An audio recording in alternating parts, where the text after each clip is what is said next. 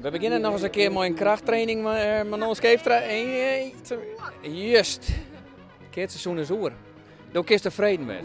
Ik ben heel tevreden, Richard. Ik heb, uh, dat zei ik net ook, uh, dit jaar gewoon wat meer kunnen laten zien wat ik kan. En vorig jaar wou het vaak niet zoals ik het zou willen. En dit jaar de opslag, dat wou gewoon lekker. En uitslag prima. En we hebben gewoon ook leuk gekaat als partuur. Dus ja, ik ben heel tevreden.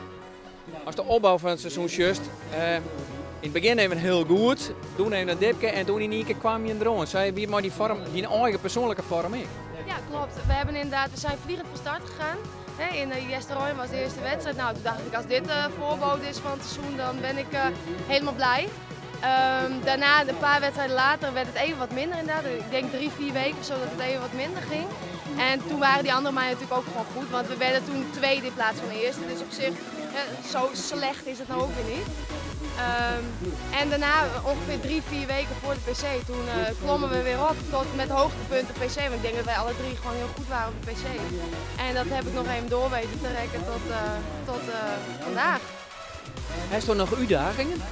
Zeker. Waar doe je nu op, Richard? Gewoon uitdagingen voor diezelf in de sport. In Keertsen. Ja, tuurlijk. Ik, uh, wat ik zeg, ik ben nu blij dat de opslag, die wou nu lekker dit jaar. Ik kon ze weer echt lekker plat krijgen en dat wou, uh, vorig jaar wou dat gewoon niet. En ik hoop dat ik dat nog wat door kan zetten, nog wat meer kan verfijnen misschien, wat meer afwisselen. Maar tussenin zijn bal die mag wel eens wat stekender zijn. Um, en uh, tussenspel, ik ben niet tevreden over mijn tussenspel, dus daar kan ik nog heel veel, heel veel winst in behalen. Dus uh, ik heb zeker nog uh, uh, dingen waar ik aan werken wil bij mezelf. En ja, qua doelen, qua prijzen winnen wil ik natuurlijk gewoon het NK winnen. Ja. Dat is het grootste doel voor Takamir? Ja, nou, nee, dat is niet mijn grootste doel.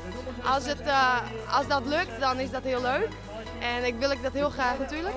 Maar ik denk, uh, ik vind vijf maatje vind ik belangrijker, want daar draait het uiteindelijk om. Dus ik hoop gewoon dat wij als Petuur uh, nou ja, nog beter worden, nog meer... Hè, Jeanette is natuurlijk net bij, die heeft echt super goed gedaan meteen van de start. maar ik hoop dat wij gewoon als Petuur nog meer groeien. Ik, ik, ik denk dat Ilse nog beter kan. Ze is al heel goed, maar ik denk dat ze nog beter kan. En uh, dat wij gewoon als partuur nog sterker worden. Dat we gewoon uh, misschien ook eens een recordje kunnen breken of zo.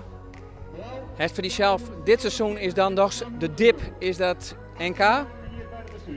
Ja, als je het een dip wil noemen, natuurlijk, het is, ik vind het heel jammer en ik had, uh, ik had hem heel graag willen winnen. En als ik die had gewonnen, dan was dat fantastisch geweest.